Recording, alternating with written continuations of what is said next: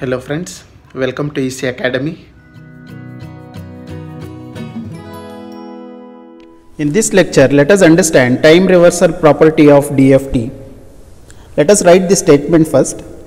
If DFT of x of n is equal to capital X of k, then we can write DFT of x of minus n mod n which will be equal to x of n minus n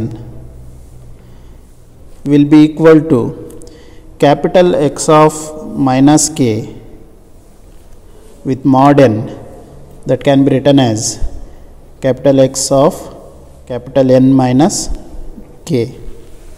So, here x of minus n mod n represents the time reversal of x of n. So, time reversal operation of x of n can be represented like this. So, we can write this as x of n minus n. This we understood in our previous topic where we can add mod value with this n value.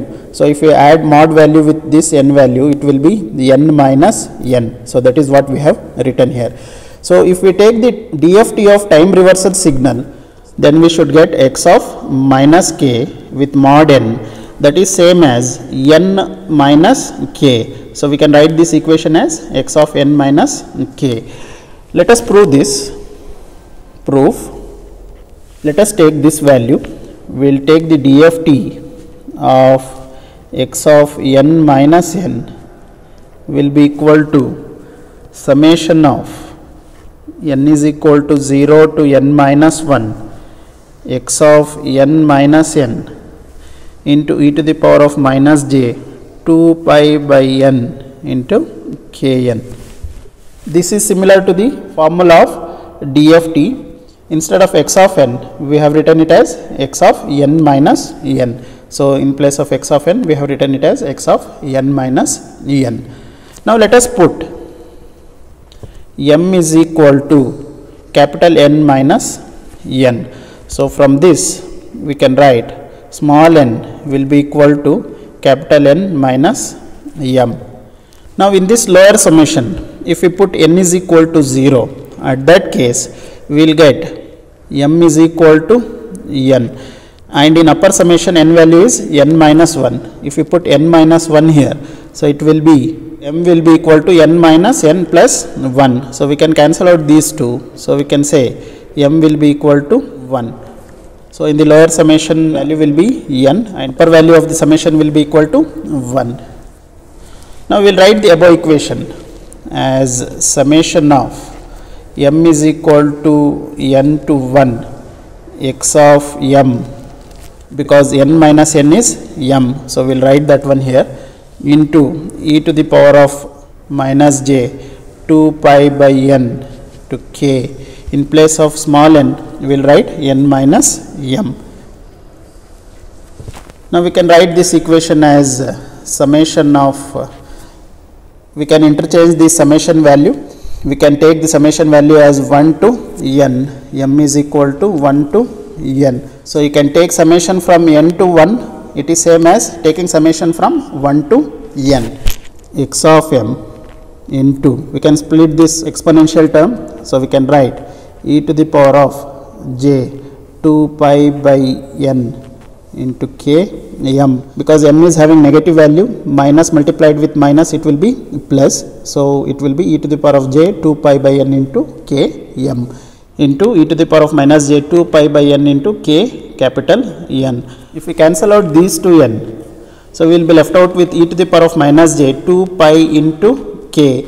So, this value will always be equal to 1. So, this value will always be equal to 1. That is why we can write this equation as summation of m is equal to 1 to n x of m into e to the power of j 2 pi by n into k m into we are having 1 in place of 1 we will write a new term which is e to the power of minus j 2 pi by n into n m. Now, this value is nothing but 1. So instead of 1 we have written this value. If you cancel out n n. so the remaining term will be e to the power of minus j 2 pi into m. So that value will be equal to uh, 1. So instead of 1 we have written this term. So we can write this equation as summation of m is equal to 0 to n minus 1. So if we start from 1 it will be up to n. If we start from previous value m is equal to 0, we can write this as n minus 1. So, that is what we have written here m value is from 0 to n minus 1 x of m.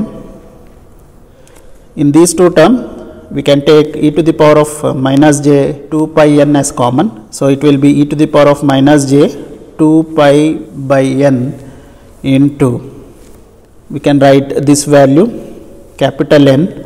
So, for this we can write it as minus k into m. This is similar to the formula of DFT. So, here in place of x of k we are writing the value as n minus k. So, we can write in place of k the value is n minus k. So, that is why we can write this as x of n minus k. So, we can say this equation will be equal to x of n minus k. Towards left hand side it is DFT of x of n minus n. So, this term we can write it as x of minus k with mod n. This is the time reversal property of DFT. Hope you have understood the topic. Thank you.